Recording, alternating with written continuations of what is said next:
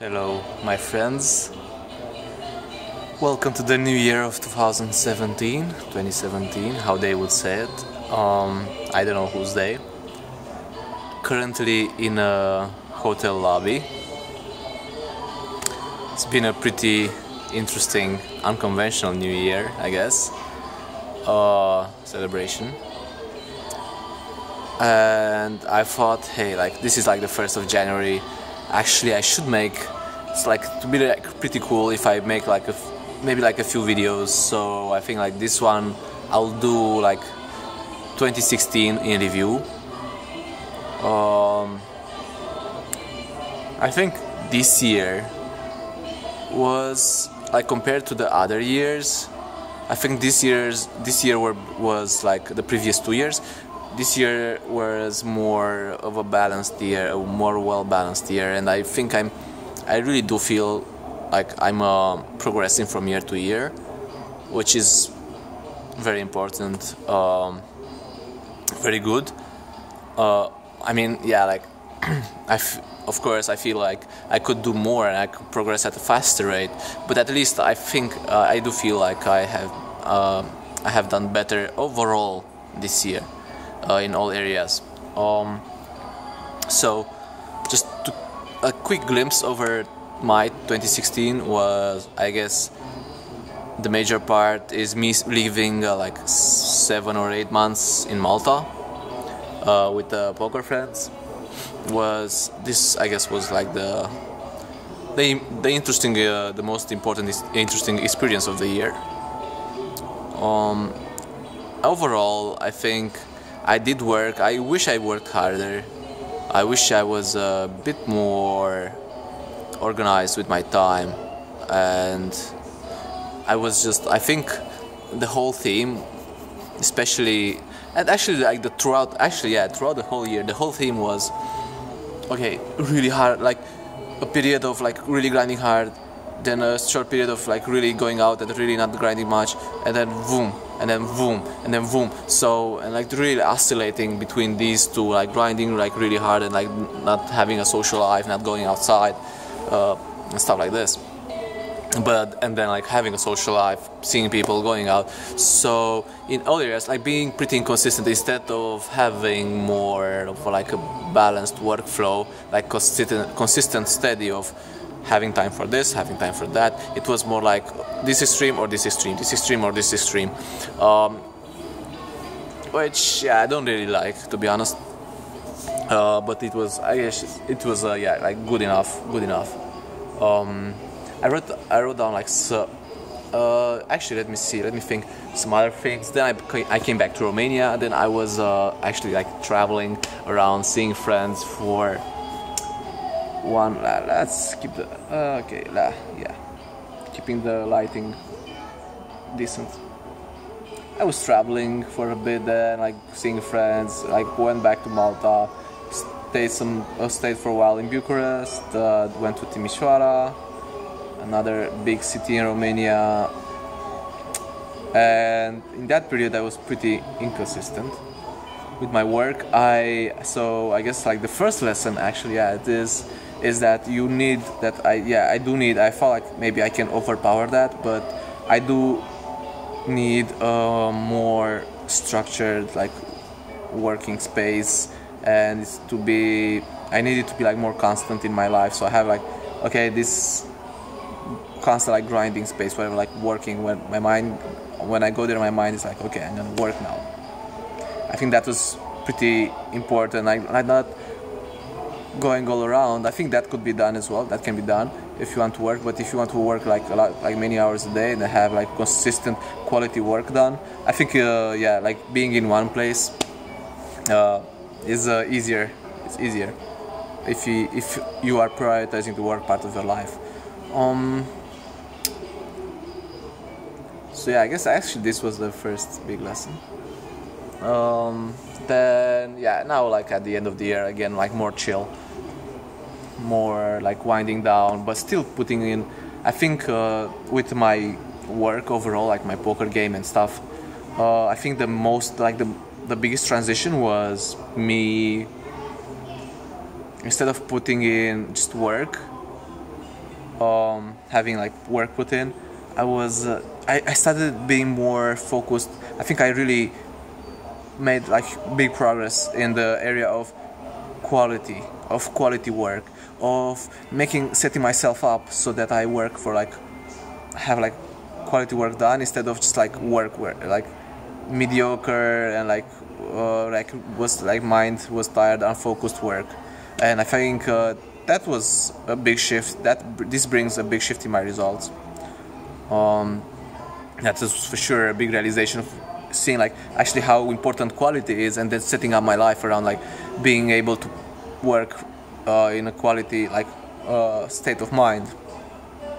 Uh, that was like pretty good. So i guess like work the the sleeping schedule not the sleeping hours the sleeping schedule was was changed to, towards the end of the year. Now i started like sleeping as much. I, actually i saw a video on that which i felt like inspiring it was like okay i'm gonna sleep until i feel rested instead of putting my alarm or like usually i had the previous sleeping schedule i had it was sleeping six hours waking up doing some work and then uh, uh, taking an afternoon nap.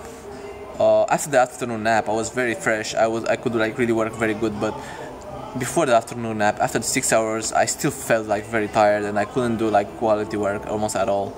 Um, it was like very frustrated, frustrating. And I think this mode where I do uh, where I do sleep more every night, like just I guess I don't really take naps anymore right now um, and I think this works better for me. I'll still take naps from time to time if it's needed, but it's not a daily ritual anymore. Um, let's go something else. Let's go a bit more. Okay, so I feel like the I had this uh, had all them written down before. Had it like a, a bit more structured video. Um, so yeah, I think another thing is I realized is that you also need conscious relaxation in your life, really planning for relaxing time and feeling kind of like understanding that doing something relaxing like like sauna or jacuzzi or massage um, understanding that actually that were uh, how I did perceive it was oh yeah this is kind of just like some spoiling myself and I don't really need that. It's just like some pleasures like I, I would indulge in which is not very helpful but it's just like for the senses oh yeah like such such a good vi- such a good feeling uh, and I don't really need that but actually I understand. Now I understand that it's actually you have these periods of where you work work work but you also need these periods of recovery and you also have to like really think about I think you also have to plan for these periods of recovery as much as you plan for the periods of work. So you don't burn yourself out and you will keep a steady flow of working because when you do something like this actually yesterday was the first time I got a massage which was it was like very cool especially if you hit the gym I think it's very cool uh, and it's like very relaxing very I don't know like refreshing for my body and then like uh, uh, two or like something like two months back, I was like the first time when I was like at the sauna. Yeah, like I always avoided sauna, like sauna and jacuzzi, and like just like going for like uh, like for a bit of a swim there. Um, I realized, yeah, wait, actually, this um, this is actually very helpful, and I do need these. It was like it's like the first time in my life where I just like deliberately like based on circumstances. Actually, I did. It was not my choice uh, I did something like this and I felt like it was uh, yeah like I felt like it was very helpful uh, and it's very important to like also consider having periods of like where you rebuild your energy not just like expand expand expand but also deliberately rebuilding your energy and I don't know like surfing mindlessly surfing stuff on internet or doing like stuff like that is not relaxing it's not rebuilding your energy. Um, next up. Um, higher path yes. So what i came to realize is life can throw you throw you like around. Uh, you can get like thrown around a bit by circumstances. A big uh, big jump in perspective in my paradigm was uh, really going into like the stoic philosophy. And I really resonated with that. Basically, just thinking like really focusing on what you can control and what's in your area of control and letting go of all else which is very subtle and very important uh, and it's like very it has like different layers of achieving this. So it's like continuous uh, skill i guess you develop. Um, so going back to this like this higher path this having like bigger goals i think normally you have like, all these circumstances all this shit going on in your life where you are more you're like kind of like thrown around like oh this that like some dramas some personal drama some like this person did this this person did that that person said this um, this happened to me i did that or yeah like this circumstance whatever. And i think it's very easy to just oh, get caught up in all this like petty stuff uh, and I, what I realize is, okay, like if I have some higher goals, some higher mission, some higher path, I am following, and if I am focusing like that on that, all this will override all this petty uh, annoyances that are actually outside my control. And every time I feel like I I fall into like just like some like personal drama or some yeah like being distracted about like some this petty stuff that is not very important in the long run I remind myself, yeah, I'm falling into like this petty stuff again. What is my goal? Keep bring, bring my bring my mind back. Okay, refocus on what is my goal, my like my my long-term goals, uh, some like higher passion, higher higher path, and how can I refocus on that instead of getting caught up in all this? I think it's actually very good for like your mental well-being basically to not just get a, get out, get caught up in all the drama. Um, so I feel like a big lesson in Malta with about people in general. Uh, because so I spent seven months there and I interacted with people from a lot like from many cultures. Uh, there are like people from like all over the world there basically like literally literally all over the world. Um, so it was very interesting. I interacted with like quite a few people not that many that but like quite a few cultures and it was interesting to see like how similar everyone is how similar how easy it is like for everyone to resonate with everyone because i guess for because of, of all all of this uh, globalization stuff i think in uh, in general i think it's pretty easy to to get along with everyone. And i think that was a big lesson that people are friendly if you are friendly with them and just people are good. And you can get along with people basically from anywhere around the world uh, around the world. Um, I think that was pretty cool. Uh, so I guess another big lesson is on this um, like another thing like another big thing for me so around uh, going back to this higher path stuff higher goals uh, so how important it is having like really concrete set goals and